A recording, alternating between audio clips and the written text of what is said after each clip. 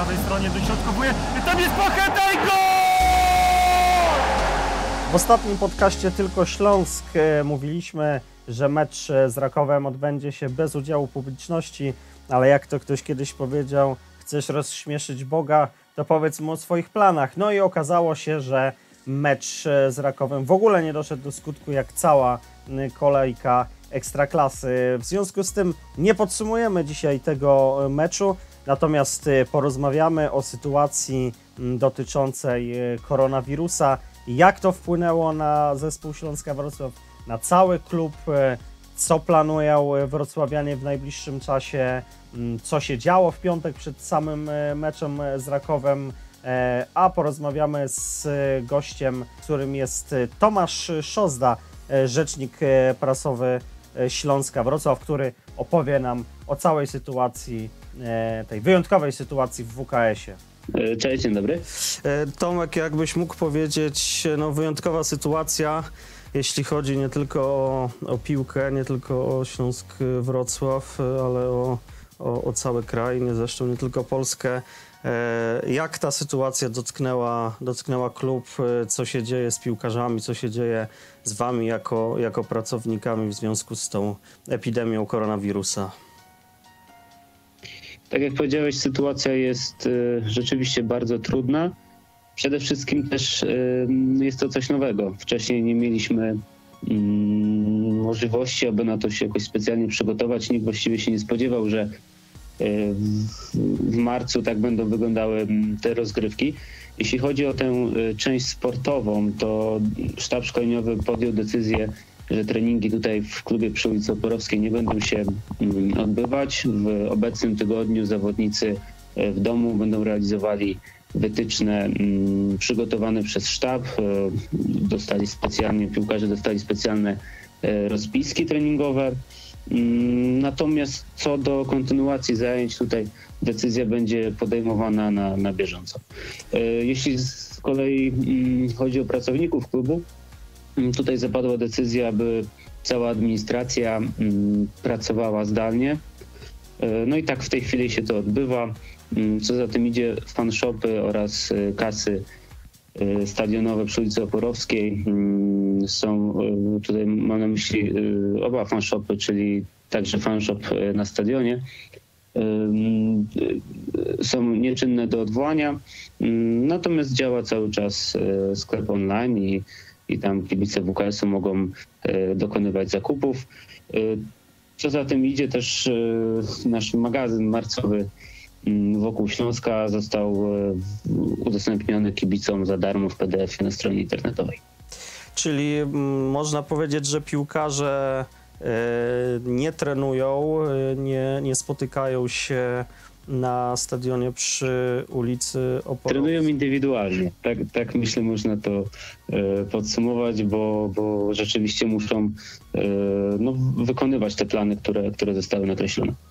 E, I mówimy tutaj nie tylko o pierwszej drużynie, ale także o zespole rezerw oraz e, całej, całej akademii, prawda? E, Dokładnie tak. E, Nieco wcześniej zapadła decyzja, że e, rozgrywki trzeciej ligi zostały wstrzymane. Wówczas już piłkarze, mm, piłkarze rezerw otrzymali wytyczne od trenerów przygotowania motorycznego, tak aby we własnym zakresie trenować. Z kolei Akademia, w związku też z tym, że zostały odwołane zajęcia lekcyjne, również nie zbiera się takiej formie do, jak dotychczas. Młodsza część naszych zawodników y, w tym momencie nie trenuje. Y, No, ważne jest y, też tutaj to, że wszyscy zawodnicy otrzymali zalecenia pozostania w domach, przebywania we Wrocławiu. W, w ramach tych środków ostrożności, które też wcześniej podjął klub, piłkarze ym, spotkali się z klubowym lekarzem y, Wojciechem Schneiderem na specjalnej odprawie. Tam poznali y, podstawowe mm, wytyczne co do mm, profilaktyki, y, wszystkie informacje związane z zagrożeniami, które mm, wywołuje koronawirus oraz jak mogą się przed tym chronić, jak unikać mm, tego ryzyka, które, które wiąże się ym, z tą chorobą. Tomek, powiedz, czy Jest jakiś system informacji przekazywany przez wszystkich piłkarzy do sztabu medycznego. Mm, wiemy, że wszyscy na pewno dobrze się czują, że nikomu nic, nic nie dolega, bo no też pojawiły się informacje, że przed meczem z Rakowem Jakub Łabojko był przeziębiony E, no i pytanie, jak to wygląda też w przypadku innych zawodników, czy, czy jest taki tak zwany monitoring e, piłkarzy, czy, czy odpukać nikomu nic, nic nie dolega, nie stało się nic złego jak e, no, Bartkowi Bereszyńskiemu, co, którym no, tutaj informacja niedawno się pojawiła, że, że niestety tym wirusem jest zakażony. Oczywiście bezwzględnie tutaj stan zdrowia wszystkich zawodników, y, trenerów jest kontrolowany. W przypadku zawodników, tak jak tutaj wspomniałeś o Kubie, są, są od razu podejmowane zalecenia lekarza. Y, natomiast w tym momencie na szczęście nie ma powodu do niepokoju, to znaczy zawodnicy przebywają w domach, tam mają trenować, stosować się do wszystkich e, rekomendacji dotyczących przestrzegania zasad higieny, profilaktyki. No i miejmy nadzieję, że, że w, będą po prostu dalej realizować e, indywidualne plany treningowe bez, e, bez jakichkolwiek zakłóceń. Mówisz, że piłkarze przebywają w domach. Rozumiem, że piłkarze i trenerzy pozostali we Wrocławiu, nie, nie rozjechali się tak, tak, do, swoich, do swoich domów, e, do swoich domów rodzinnych. To warto podkreślić, że wszyscy właśnie, także obcokrajowcy przybywają we Wrocławiu. A jeśli chodzi o Kubę Łabojkę, to, to, to wiemy, że, że sytuacja, że, że, że, to nie, że to nie ten nieszczęsny, nieszczęsny wirus, tylko, tylko zwykłe przeziębienie. Y, tak, myślę, że w, mm, w sytuacji, w, w, normalnych okolicznościach tutaj zupełnie mm, nie, nie, było, nie, byłoby to, nie byłoby to sytuacja, w której należałoby się czymkolwiek martwić. Y, podobnie jest tutaj. Kuba po prostu przyjął y, leki, mm, jest, zgłosił taką gotowość, że, że może podjąć treningi. Natomiast jesteśmy już po meczu z Rakowem Częstochowa. Prawdopodobnie by w tym meczu nie wystąpił, natomiast tutaj nie działo się nic niepokojącego z jego zdrowiem. Cały czas był w kontakcie z lekarzem, e, przyjmował leki, także no, tutaj, tutaj w zasadzie udało się to opanować. Wspomniałaś tutaj o meczu, o meczu z Rakowem, do którego ostatecznie nie doszło. E, jak e, z Twojej perspektywy, będąc wewnątrz klubu, wyglądało to, to całe zamieszanie, bo, bo Iraków był we Wrocławiu i, i wydawało się po tej pierwotnej decyzji e, PZPN-u, że, że ten mecz dojdzie do skutku bez, oczywiście bez udziału kibiców czy przedstawicieli mediów, no a finalnie zmiana, zmiana decyzji. Jak, jak to ty odebrałeś, jak, jak w klubie wyglądała ta, ta sytuacja? Y, to wszystko pokazuje to, o czym wspomniałeś, w jak trudnej sytuacji się znaleźliśmy. Trudnej znaczeniu przez to, że naprawdę już nie tylko z dnia na dzień, ale z godziny na godzinę y, zmienia się sytuacja. Mm, no i to wszystko też wpływa na, na rozgrywanie meczów, na sytuację w klubach. W zaistniałych okolicznościach, no, w naszej opinii, ta decyzja mm, ekstraklasy E, była uzasadniona. E, oczywiście Śląsk Wrocław był gotowy, aby ten e, mecz rozegrać, no ale to też, też wiemy, jakie były zalecenia. Co chwilę napływały do nas nowe komunikaty o tym, jak ważne jest, aby, aby przebywać w domu, jeżeli jest to konieczne, unikać wszelkiego rodzaju zgromadzeń cały czas byliśmy w kontakcie z Ekstraklasą, czekaliśmy na, na ostateczne decyzje. Te zapadły kilka godzin e, tak naprawdę przed rozpoczęciem spotkania. Mm, no i pozostało nam się do tego dostosować. E, w takich sytuacjach e, liczy się tylko zdrowie zawodników, pracowników. Jeśli są przesłanki ku temu, aby do takiego meczu mm, nie doszło właśnie z, z uwagi na bezpieczeństwo i, i troskę o zdrowie um, uczestników tych wydarzeń, no to, to trudno chyba o bardziej racjonalne uzasadnienie.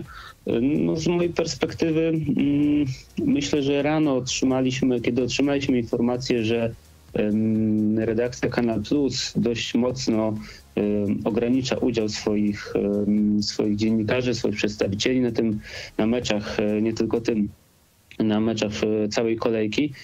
E, to był taki znak, że, że rzeczywiście może też coś się zmienić, bo, bo, bo ten krok dość e, wydawał się radykalny, jeśli chodzi o sam fakt, że tylko mm, ten mecz można, y, te mecze można było zobaczyć wyłącznie w telewizji, tak? I skoro dziennikarzy, którzy pracują przy tym meczu miałoby nie być, komentatorzy mieliby te mecze komentować z przysłowiowej dziupli, no to, to już znaczyło, że rzeczywiście no myślimy o, o ograniczeniu wyjazdów, i, i o tym, że podajemy wątpliwość, czy, czy rozgrywanie mm, w takich okolicznościach meczów ma w ogóle sens. No, myślę, że to też nie tyczy się samej piłki, ale, mm, ale każdy z nas może mieć takie doświadczenia, choćby po swoich, patrząc po swoich znajomych, którzy w, w różnych instytucjach, w których pracują, w, w, różnych firmach e, też otrzymywali e, polecenia pracy mm, zdalnej czy, czy rezygnacji z wyjazdów służbowych i, i przemieszczania się pomiędzy miastami wszyscy piłkarze byli gotowi do gry. Żaden, no poza, poza tym Kuba Łabojko, o którym wspomnieliśmy, że, że miał drobne problemy zdrowotne, nikt e, nie, nie wyrażał e, obaw, e, żeby, żeby jednak nie brać go pod uwagę, że wolałby zostać w domu? Oddzieliłbym tutaj dwie rzeczy, bo jakby pierwszą i wydaje mi się dość naturalną sprawą jest to, że no chyba każdy w takich sytuacjach miałby mniejsze lub większe obawy. Zawodnicy też widzą, co się dzieje E, w innych krajach, w innych ligach. E, czyli już wtedy wiedzieliśmy, że e, wśród piłkarzy pojawiały się przypadki koronawirusa, tak samo u, innych sportowców. No więc to, to z pewnością pokazuje, że skoro świat sportu też jest narażony na tę chorobę, to należy, należy nie lekceważyć wszelkich środków ostrożności. E, piłkarze również mają swoje mm, rodziny, więc e, wydaje mi się to całkiem naturalne, e, że mogą czuć obawy przed, przed wystąpieniem w takich, w takich meczach. Natomiast właśnie drugą rzeczą jest to, że tutaj no, absolutnie nikt. Znaczy, każdy z zawodników miał tę świadomość, że skoro jest decyzja o Mm, o tym, aby taki mecz rozegrać, to, to należy, należy w nim zagrać. Tak po prostu y, mogę tutaj się odnieść do słów Krzysztofa Mączyńskiego przed spotkaniem, y, który wyraził, wyraził swoją opinię, że y, mecze z udziałem publiczności to, to zupełnie mm, inna historia, inny poziom emocji niż y, mecze przy pustych trybunach. No ale skoro jesteśmy zawodnikami, musimy E, musimy grać bez kibiców, to, to takie mecz należy rozegrać. I podobnie było tutaj. Natomiast no, nawiązując też do tego, o czym mówiłem wcześniej, sytuacja zmieniała się bardzo dynamicznie. W pewnym momencie ja miałem przynajmniej takie odczucie, że mm, od, od poranka właściwie nie rozmawialiśmy o tym, kto zagra w ataku, kto na prawym, lewym skrzydle, e, jakie, jakie jest, e, jaka jest taktyka Rakowa na to spotkanie, a raczej żyliśmy tym, co się dzieje poza boiskiem, poza stadionem, co też niejako pokazuje, co, co w tym momencie było istotne. Nierozegranie tego meczu z Rakowem będzie wiązało się z jakimiś stratami, jeśli chodzi o, o klub. To znaczy już wcześniej wiedzieliśmy, że to, ten mecz zostanie rozegrany bez udziału publiczności. Bardziej bym powiedział tutaj o braku wpływów, tak, no bo publiczność e, nie, nie zasiądzie na trybunach stadionu Wrocław. Tutaj dokonywane były już jeszcze przed meczem e, zwroty pieniędzy za bilety. Teraz mamy sytuację mm, taką, w której do końca marca na pewno nie zostanie rozegrany żaden mecz do ekstraklasy.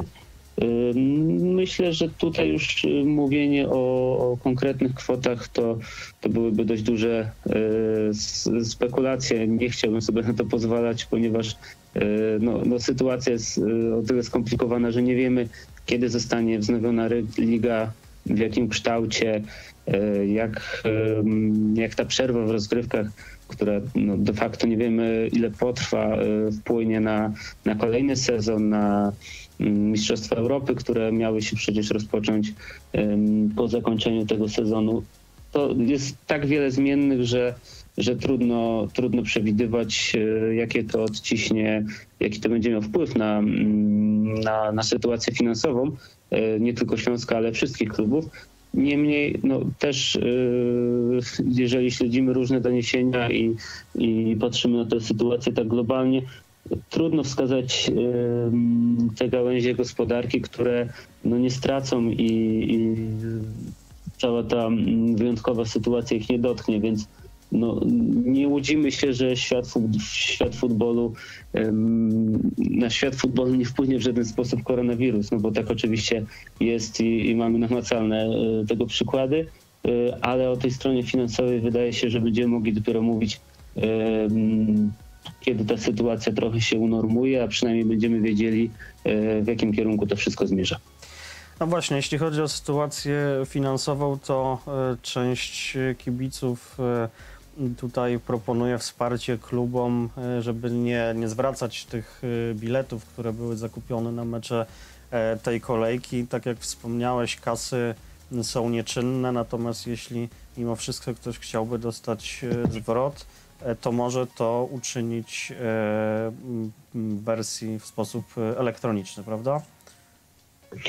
Tak, w razie jakichś problemów, wątpliwości, tutaj służymy pomocą, można zgłosić, y, jeżeli takie problemy miałyby wystąpić, można zgłosić się na adres kasy mapa ślęsgrocov.pl i tam już y, udzielimy koniecznych, koniecznych porad i, i przeprowadzimy przez ten proces.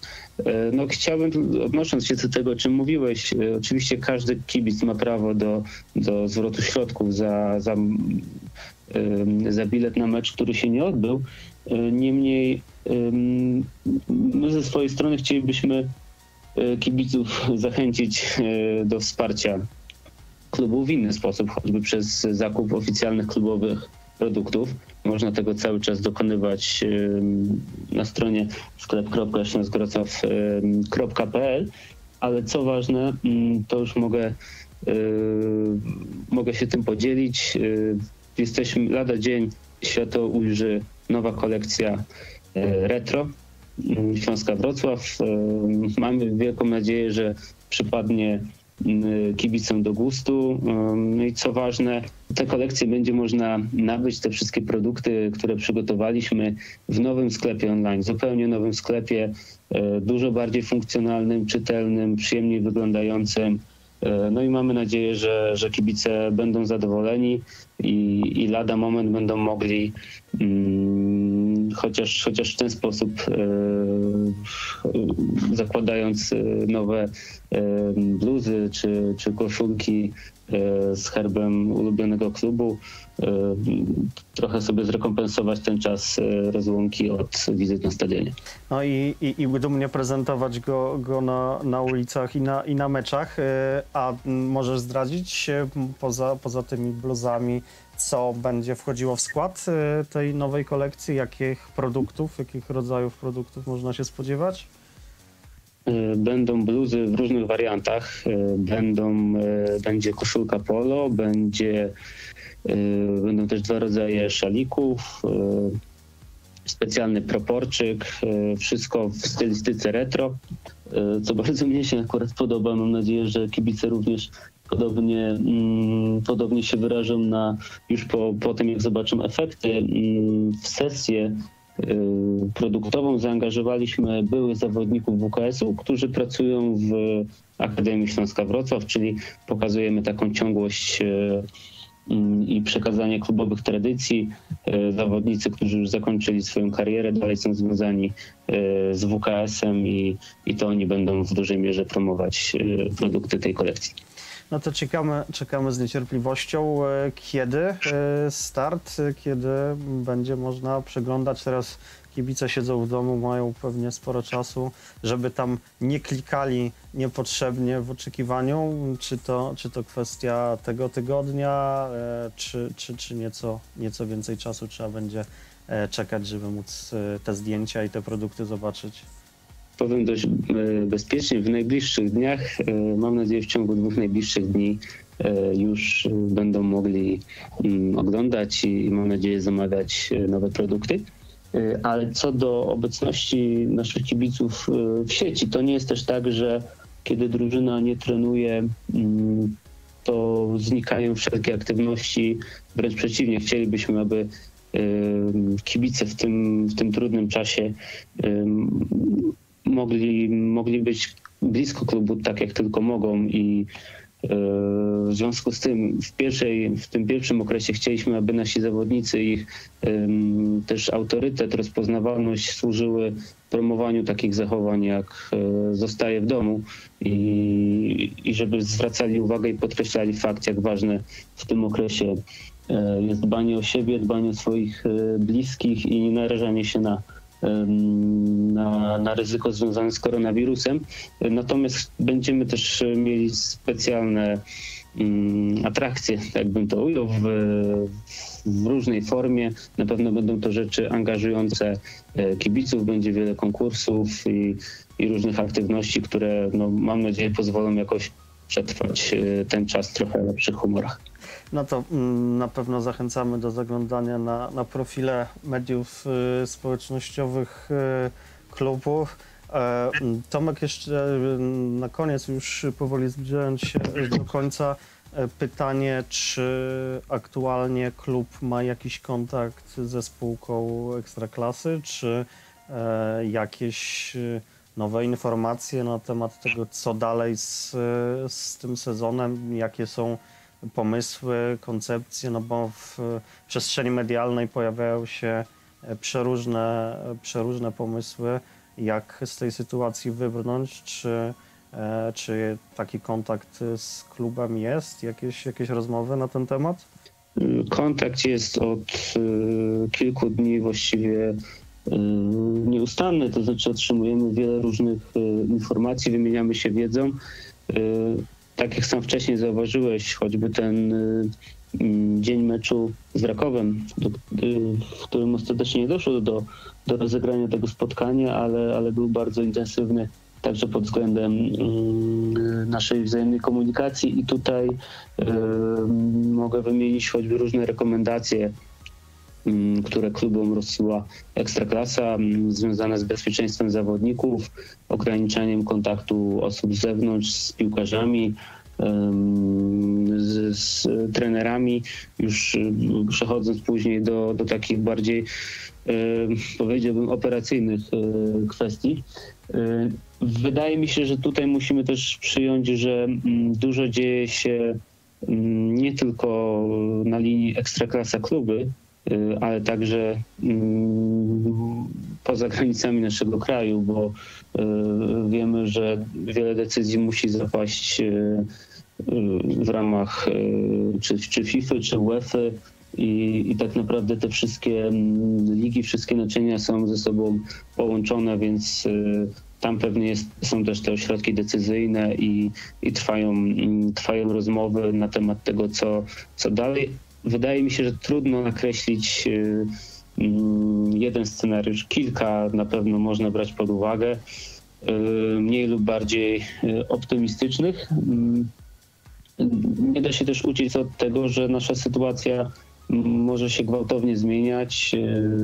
Mogą zapaść różne decyzje administracji rządowej o dodatkowych środkach ostrożności i to również odciśnie swoje piętno na tym, co, co przed nami E, w kontekście rozgrywania bądź nie rozgrywania meczów. Także uważam, że jest tak dużo zmiennych, e, że w tej chwili trudno pokusić się o, o jakiś konkretny plan mm, tego, co się będzie działo. Niemniej no, y, w tle toczy się wiele różnych dyskusji, ta komunikacja jest potrzebna. E, no, będziemy w stałym kontakcie. Jeżeli tylko coś będziemy mogli zakomunikować, to, to oczywiście to zrobimy, ale, ale tak jak mówię, tak wiele instytucji bierze w tym wszystkim udział i rozważa mm, różne, różne możliwe scenariusze, że w tej chwili mm, wszystko byłoby tylko czystą spekulacją, a, a tego chcielibyśmy uniknąć, bo, bo nikomu to nie służy. I, i chyba zgodzisz się, że takiej E, dezinformacji i, i, i różnych e, tak zwanych fake newsów jest, jest wokół tyle, że chyba nie byłoby rozsądne, abyśmy my jako kluby także ich dostarczali. O kibice się na pewno zastanawiają, bo mm, ta ostatnia oficjalna informacja przed zawieszeniem ligi była taka, że w przypadku, jeżeli sezon nie będzie mógł być zakończony w terminie majowym, no to mm, za ostateczne zostaną uznane wyniki po ostatniej pełnej kolejce. W tym przypadku e, Śląsk skończyłby sezon na, na czwartym miejscu.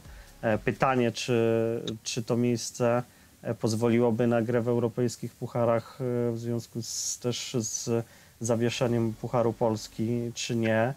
No i, i druga drużyna jako lider trzeciej ligi awansowałaby na, na szczebel E, centralny, więc e, no Śląsk akurat byłby w całkiem chyba niezłej sytuacji. No właśnie to pytanie, czy... Tak, ale podając właśnie ten przykład już e, no, widzimy, jak wiele jest tutaj wątpliwości, choćby wpływ meczów Pucharu Polski na, na rozgrywki ligowe, tak, konkretnych terminów. No, no jest naprawdę tego, tych znaków zapytania mamy, mamy wiele.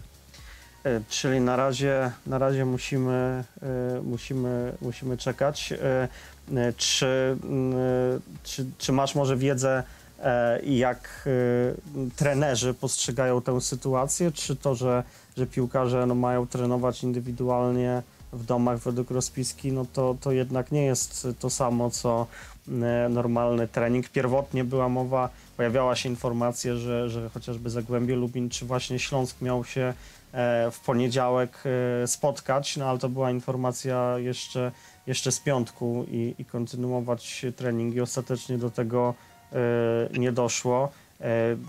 Wiesz, jak, jak sztab szkoleniowy odnosi się do tej, do tej mhm. sytuacji i, i ewentualnego wznowienia, gdyby to wznowienie ligi miało być za, za dwa tygodnie, tak jak, tak jak pierwotnie aktualnie ta, ta liga do końca, do końca marca jest zawieszona.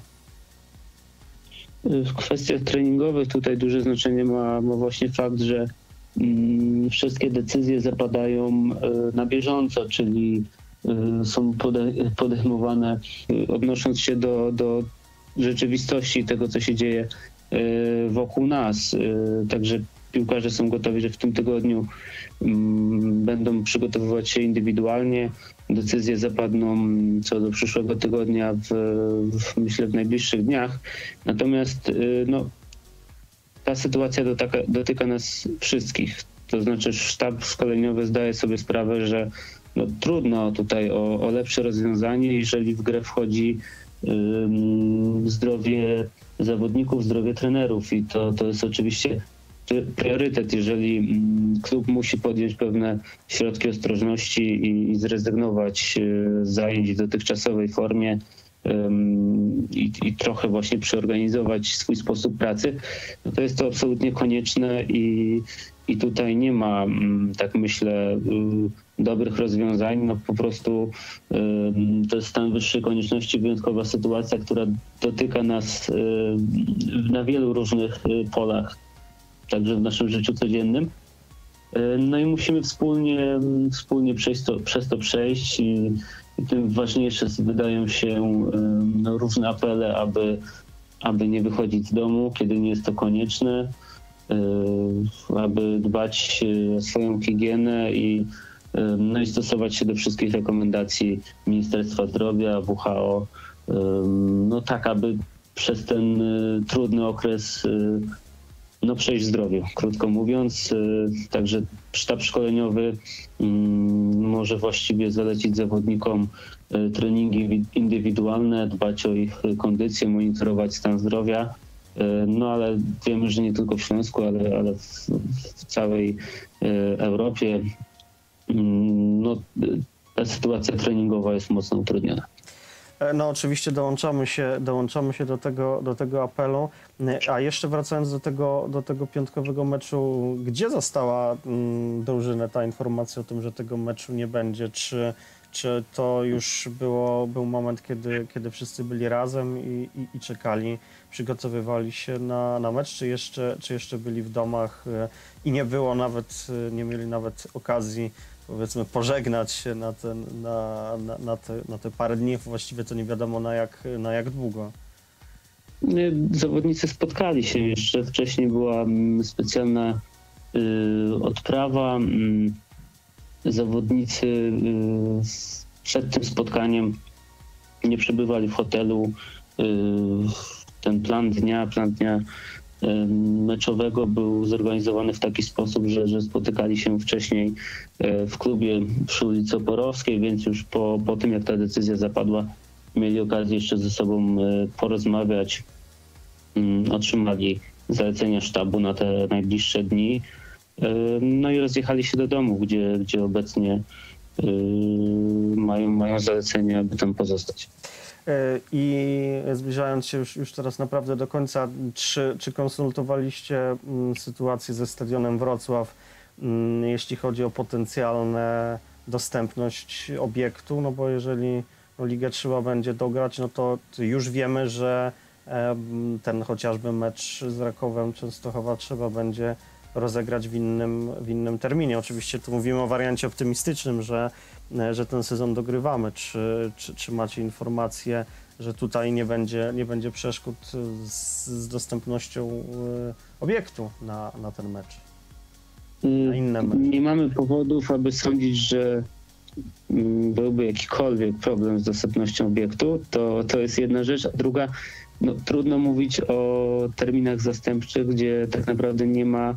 Mm, nie zostały one wyznaczone i, i nikt właściwie o tym nie mówi. Musimy po prostu na bieżąco patrzeć, jak rozwija się sytuacja. Jedynie wiemy, że w, w marcu nie zagramy meczów w ekstraklasie i no, trudno, trudno mówić o, o terminach, które tak naprawdę jeszcze nie powstały. Musimy czekać na informacje, w jakim kształcie zostanie mm, dokończony ten sezon, y, jak będzie, mm, jak będą wyglądały choćby Mistrzostwa Europy, czy w ogóle odbędą się w tym roku. Y, Także wydaje mi się, że, jest zbyt wiele czynników wpływających na siebie, żebyśmy mogli teraz y, jednoznacznie powiedzieć, że, że zagramy z Rakowem bądź z jakąkolwiek inną drużyną podczas czekających nas, y, nas spotkań w tym lub innym terminie. Po prostu sytuacja y, jakby daleko wychodząca poza, poza piłkę, czyli to, z czym ym, spotykamy się na co dzień w, życiu, w naszym życiu, no, no sprawia, że, że trudno teraz mówić o, no, potencjalnych terminach. No to czekamy wszyscy z niecierpliwością na to, żeby sytuacja się, się wyjaśniła, żeby były, żeby były warunki do tego, aby e, Ekstraklasa mogła być wznowiona, no i żeby nasze życie też e, wróciło do e, standardowych ram i, i toczyło się w taki, w taki sam sposób e, jak, jak dotychczas. Podsumowując, zachęcamy do, do zaglądania na kanały social media klubu, gdzie, gdzie wkrótce nowe, angażujące interakcje dla, dla kibiców.